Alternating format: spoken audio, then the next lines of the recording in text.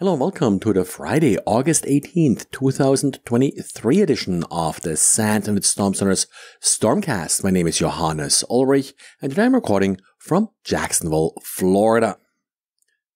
Jesse took a quick look today at a problem that's actually kind of common when you're looking at text on the command line in Linux with tools like cat. The problem is that the white space characters are often not clearly displayed and so two strings that kind of look the same may not be the same because they have white space characters uh, following them. Well, uh, Jesse's looking at a couple different options to solve the problem with a little Python script or, well, a simple cat option that's capital A, which will make these white space characters more obvious. And Apple security company Jamf has an interesting blog post showing how an attacker may be able to simulate airplane mode in an iOS 16 device. The problem here is that, well, a user may think that they're safe if the phone is in airplane mode, but uh, what the attacker is really doing here is essentially just displaying the airplane mode icon, and with that, the user may feel safe if indeed they're not.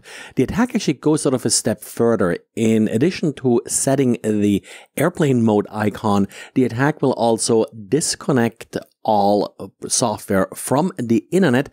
And if a user, for example, now attempts to use uh, the email software or the like, it will alert the user, hey, you, need to set up a network connection. Do you want to connect to Wi-Fi? So a behavior that's identical to what you would experience if the phone is actually in airplane mode. And of course, the attacker is at the same time also able to still maintain connectivity for their own application.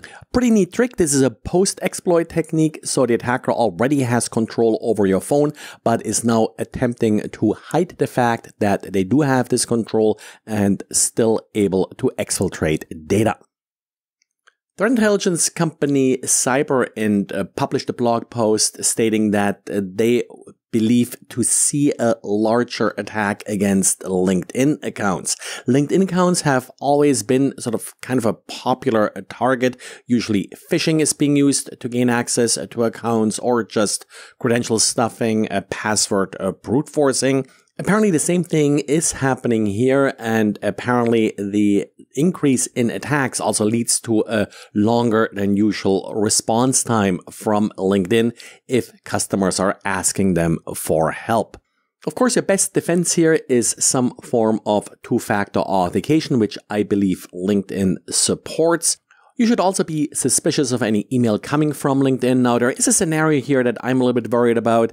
If LinkedIn detects an unusual account behavior, like someone trying to brute force your account, they may temporarily lock the account, which is not necessarily a bad thing, but it will also send you an email that your account is locked. So there is a chance that an attacker will actually lock your account and then, well, send their own email in addition to LinkedIn's. And it may not be that obvious which one is the right one, which of course then will lead, lead to phishing.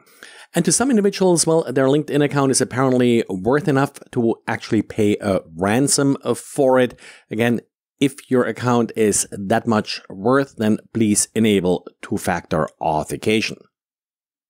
A little bit catching up on DEF CON here. A PhD student from Northeastern University, Dennis uh, Giese, presented an interesting talk about robot vacuums and how they possibly are violating your privacy and are exfiltrating uh, data.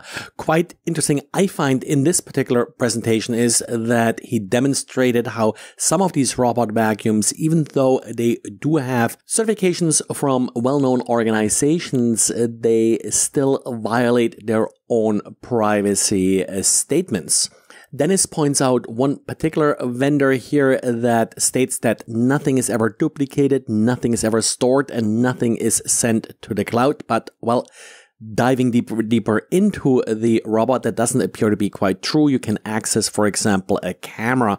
Also, uh, some sort of PR work here by some of these companies where instead of camera, they just refer to optical sensors, for example. Nice also about the talk that it covers a wide range of vendors. This is not necessarily just one particular vendor's issue and goes into some depth into how these devices were rooted in order to get access to firmware to verify some of these findings.